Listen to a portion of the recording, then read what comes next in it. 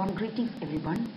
Today we are going to see the explanation of the poetry Night of the Scorpion written by Nissim Ezekiel.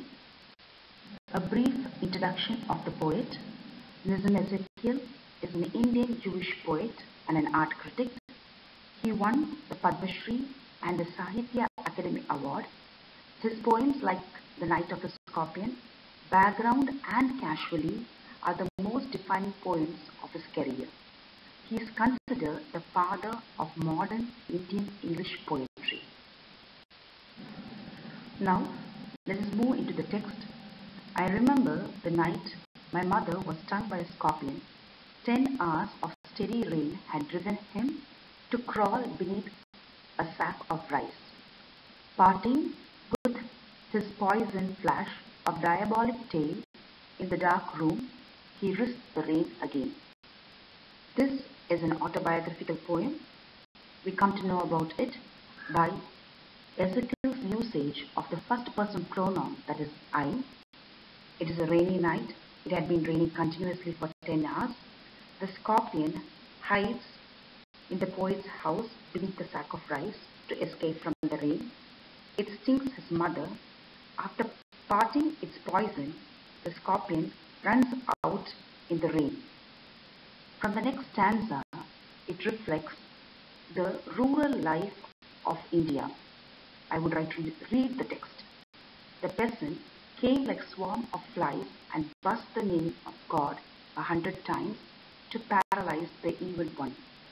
Peasants means farmers and we can see the usage of a collective noun swarm of flies which reflects that the farmers came in large number and they started singing the name of God hundred times so that the scorpion would be motionless.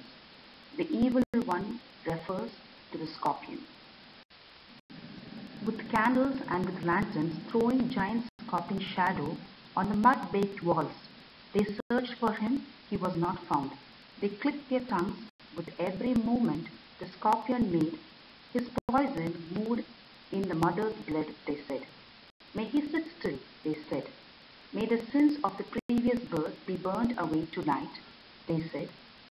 May your sufferings decrease the misfortunes of your next birth, they said.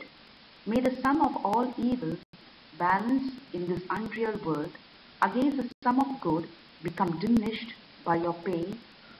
May the poison purify your flesh.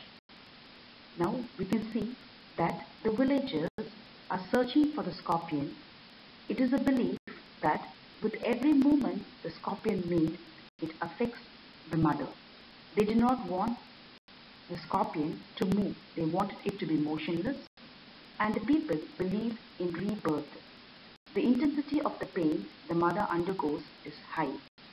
They wish the sin of her previous birth will diminish and her next birth will be better.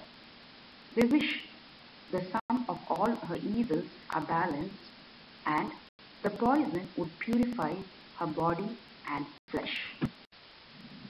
Of desires and of a spirit of ambition, they said, and they sat around on the floor with my mother in the center, the peace of understanding on each face, more candles, more lanterns, more neighbors, more insects, and the endless rain. My mother twisted through and through, groaning on the mat. My father, skeptic, rationalist, trying every curse and blessing, powder, mixture, herb and hybrid. He even poured a little paraffin upon the bitten toe and put a match to it. I watched the flame feeding on my mother. I watched the holy man perform his rites to tame the poison with an incantation. After 20 hours, it lost its sting. My mother only said, Thank God the scorpion pricked on me and spared my children. Now let's go into the explanation. It is a continuation of the previous paragraph. The poets, the villagers wish that the mother's body and flesh is free from desire and ambition. We see more number of peasants entering in. They came in with more candles and more lanterns. They sat on the floor with the mother in the center, wishing that the mother could recover. The mother was groaning in pain. She twisted through and through, lying on the mat.